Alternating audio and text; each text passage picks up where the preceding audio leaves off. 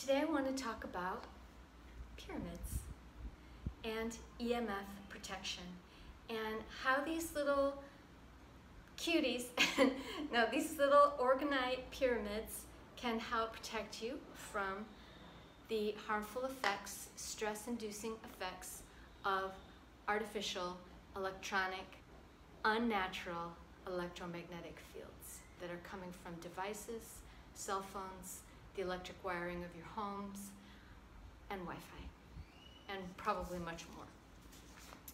So before, um, before I get into how they work, I just want to mention um, the type of atmosphere that humans have evolved in and the atmosphere, the, the atmosphere in terms of frequencies that human beings thrive in.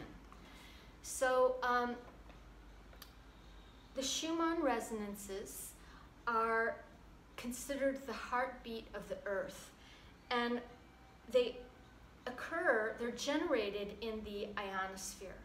And in the ionosphere of the earth, there are over a thousand lightning strikes per second. And that is generating an incredible amount of electricity. And um, the genius, the creative genius Nikolai Tesla um, had figured out or yes, he had figured out, but he was prevented from bringing his creation to humanity.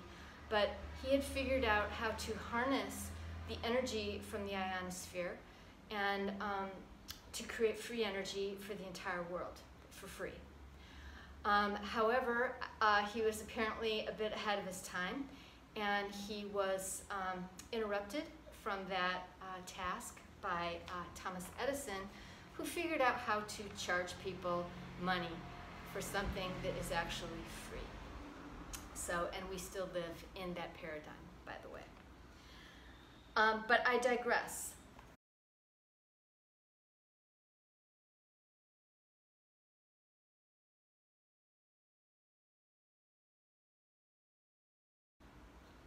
In this electrical band, um, this, these Schumann resonances are transmitting frequencies to all organic and living beings um, in the world, on the earth.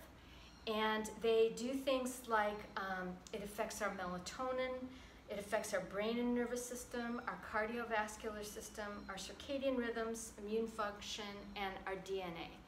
So in, in a life supportive way.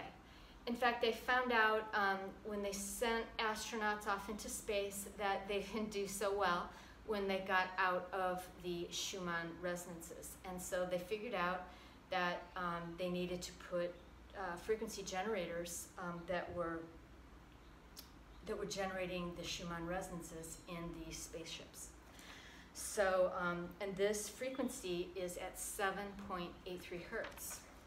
And it just so happens that this corresponds to the human uh, brainwave frequencies. And it, where it comes in is right between alpha and theta. It's actually in the theta range. Um, theta uh, pulsates at 4 to 8 hertz, and it is actually a very um, relaxed state. Um, it's, it's generally a very pleasant state. It's the state that you enter just before you're entering deep sleep. And it's a state of meditation and trance. Alpha is also a relaxed state, but it's more alert, and that is from 8 to 12 hertz. So the Schumann resonance is right there at 7.83, so it's just at the very upper range of theta.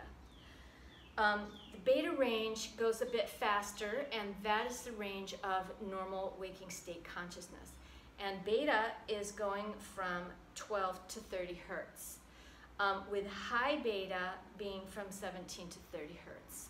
And the high beta range is associated with stress and anxiety and insomnia, fight or flight, irritability, etc. So take a look at take a look around you, right? Um, delta, and I'm obviously not going in order here, delta is a deep sleep, zero to four hertz, um, deep dreamless sleep, and then on the, at the top, on the other side of beta is gamma, which is 30 to 100 hertz. Gamma is processing information simultaneously in the right and left hemisphere. And apparently, whales and dolphins are in gamma a lot. And humans are capable of gamma. It's, it's rare and it is a very high state of consciousness. It's um, associated with, yeah, like um, transcendent superconsciousness, um, very elevated states. So that's the groove that the humans like to be in, you know, the groove of Mother Earth. That's our frequency. However, um, what we find ourselves in today is quite a different situation um, because we are inundated, there's devices all around us um, that are generating these frequencies that are totally out of the frequency range of organic life. Um, and then just looking at cell phones, um, just those. Um, there was the 1G, that the first generation, that was gave us the cell phone, the 2G uh, enabled texting, the 3G internet access, the 4G enables you to stream video, and 5G is even faster. However, 5G is going between 30 to 300 gigahertz. And in order to um, in order to have a 5G network, they have to have like a tower, like because it's like they're millimeter waves, and they have to have like towers like closer together, and they're small. Um, evidently, it's a real DNA fryer. Um, it's it's not um, it's not a happy situation for organic life forms. Below, I'm going to link peer-reviewed science and research papers on electromagnetic fields in general and also with cell phone and 5G research. So, you know, this begs the question, well, why aren't our governmental regu regulatory agencies protecting us? And um, that would be a good question um, for the consumer to be asking their representatives. And it's at the stage where people need to just educate themselves and stand up and request um, demand, I meant. It seems that the laws are more in line with the um, power companies than, and their profits than with the health of organic life. Because not only um, are humans affected by these frequencies, um, the birds don't do well, the bees, you know, nothing that's living um, so to get into some of the symptoms that you can experience if you've been exposed to this toxic pollution, um, this list is probably going to sound very familiar to a lot of us.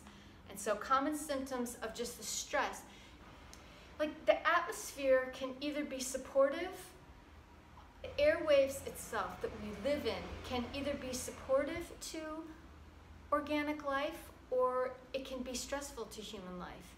And these super duper high frequencies, I mean, think about the Schumann is at 7.83. And with the 5G, we're talking 30 to 300 giga. I mean, this isn't an environment for living, living forms.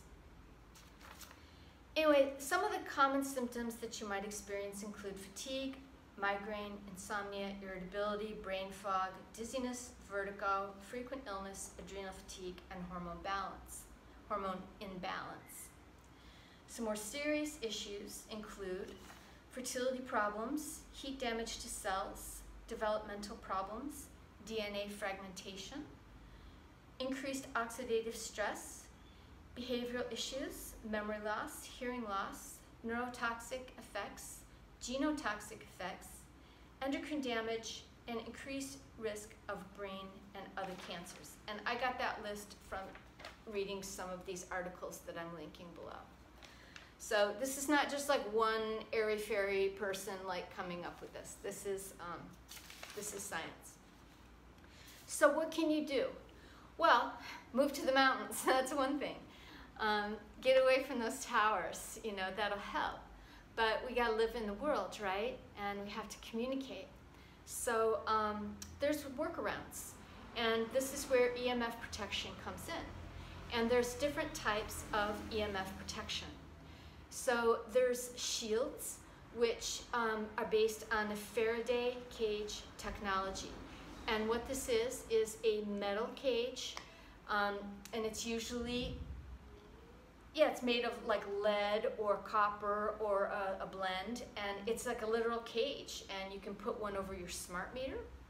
Um, you can have a, if you, especially if you use your laptop on your lap, you can get a laptop shield because all that radiation is going right to your private parts if you hold your laptop on your lap.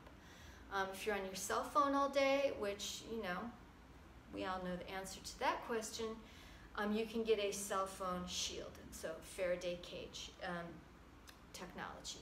You can get um, you can get a little blanket, wire blanket for your router, and they also have um, paint, um, that shielding paint, and you can paint your house. Um, but you evidently do not you evidently do not want to paint the wall between your router and your computer. So um, other things, there's uh, attenuators, which are these kind of little plug things, and you can plug in your electronics through those, and that is supposed to help throughout the entire house to attenuate or mitigate some of the um, EMF. And then the last and perhaps the most fun thing is you can get some pyramids. And, um, and you can wear a pendant, um, an EMF protection pendant. So these pyramids are both made of what's called orgonite. And orgonite is um, metals, metal shavings and powdered crystals that have been compressed into in an epoxy resin. And as the crystals and the metals are compressed, they generate what's called the piezoelectric effect. And this is what makes them a generator. Also, just the shape of the pyramid has torsion field or generator effects. So when you, when you take orgonite and you put it into a pyramid shape, you get a double whammy. So they're really powerful and these don't block EMF. They're not considered attenuators. These are considered neutralizers. So these are um, like air fresheners. They're like air purifiers because they generate negative ions. So they take an environment that is um, polluted with invisible pollution and because of its vortex field dynamics and the piezoelectric effects, that are pulsing out energy into its environment, they can purify or mitigate EMF. And so I have these two and I keep them by my computer. So when I'm working on my computer, I have these two there. Um, these big ones can also be used for your property, um, but you would need four and you create a grid around your property and um, it creates kind of like a, kind of like a shield um, or a barrier. And it, it just creates a little beautiful window for your property. And these can also be used for chemtrail mit mitigation because chemtrails are full of heavy metals. So I'm going to link both of these products below and I will link some of the other products that I mentioned, the shielding devices. And um, I hope you found this helpful. And um, if you have any comments, please leave those below.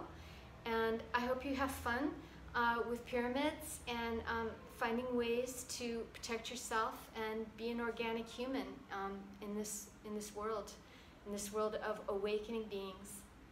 So have a great day. Thank you so much for watching. Namaste.